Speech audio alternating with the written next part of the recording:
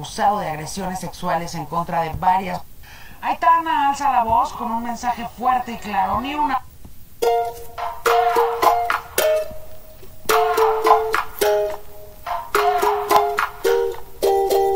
Cuando te vi,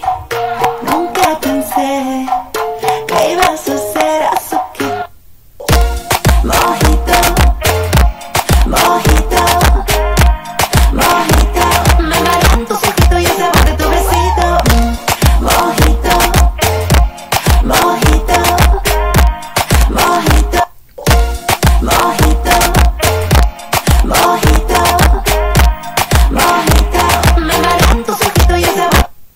El metro iba casi lleno, nos lo cuenta Tania, la joven que resultó herida en el colapso y cuya hermana lamentablemente falleció.